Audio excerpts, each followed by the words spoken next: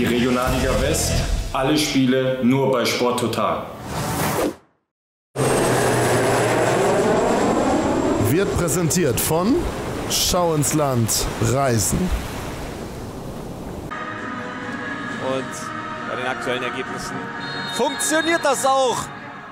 Schalke stößt an in weiß und blauen Hosen von links nach rechts. Paderborn komplett in schwarz von rechts nach links.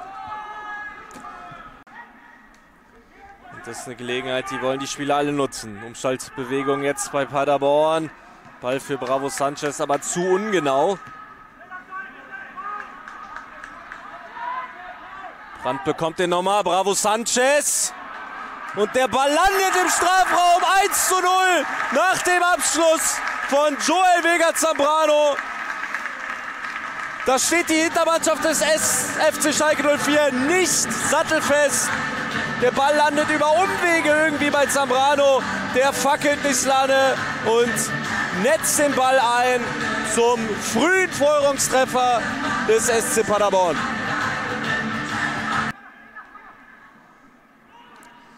Die Leistungskurve hat in den letzten Wochen ja ein bisschen nach oben gezeigt, aber auch Rückstände gab es in dieser Saison schon das ein oder andere Mal. Guter Ball wieder in die Tiefe und Platz für Brandt, der den Ball direkt nimmt.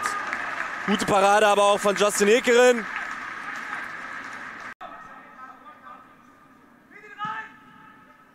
Er kommt gut. Kopfball aber nicht fest genug wenn das hier ein bisschen schneller geht, dann ist der Ball auch bei Zambrano. Also da war er meiner Meinung nach schon fast zu zögerlich. Gut gemacht jetzt hier und viel Raum für die Schalker. Abschlussmöglichkeit. Aber Maruan Baluk scheitert an Arne Schulz. Schön hier, da hat sich Van der Sloot gut bewegt und kann jetzt die Flanke bringen. Und schön auf Kuzuki. Und Kuzuki macht den Ausgleich. 1 zu 1. Ein perfekt rausgespieltes Tor. Da hat diesmal die Hintermannschaft des SC Paderborn komplett gepennt. Kuzuki damit viel zu viel Platz. Und die erste Kopfballgelegenheit im Strafraum der Gastgeber führt zum Ausgleich in der 27. Minute.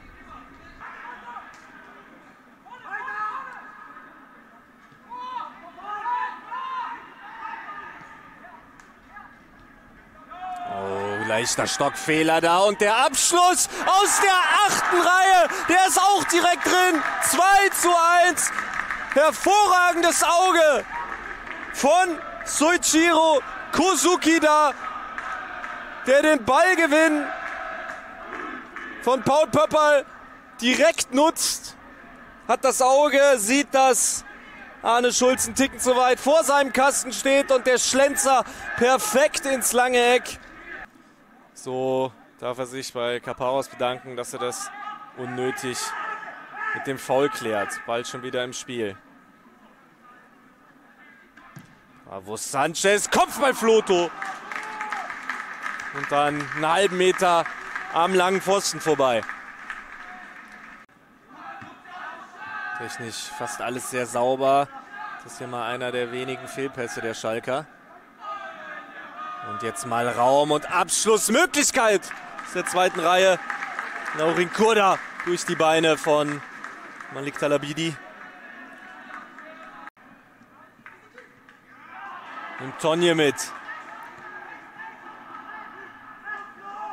Ball immer noch heiß. Krasnitschi. Krasnitschi! Ball noch abgefälscht. Der wurde dann ganz gefährlich durch Kevin Krumme. Aber Tonje dann ein bisschen zu hektisch.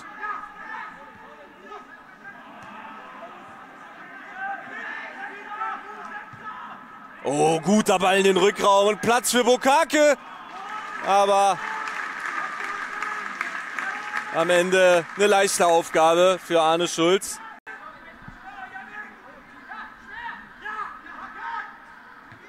Guter Ball da. Bilogrevic mit Ruhe. Die Flanke rutscht durch. Auf der Gegenseite Stamm. Stamm schießt. Tor! 2 zu 2. Aus Ausgleich durch den Joker David Stamm egalisiert die Führung des FC Schalke 04. Und auch hier wieder die Frage, was sich die Hintermannschaft des S04 gedacht hat. Denn alle irgendwie bisschen desillusioniert durch die Gegend geschaut. Ball rutscht durch. Der erste kriegt ihn nicht. Floto kriegt ihn nicht. Stamm hat dann sehr viel Zeit, bis er attackiert wird und macht es dann ganz cool in die lange Ecke.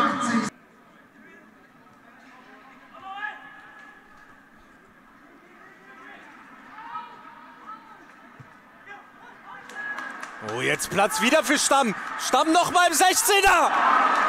Und eine Riesenparade von Justin Hilkeren, der hier verhindert, dass David Stamm die Partie erneut umdreht. Gibt es hier nochmal eine Gelegenheit für die Gastgeber vielleicht?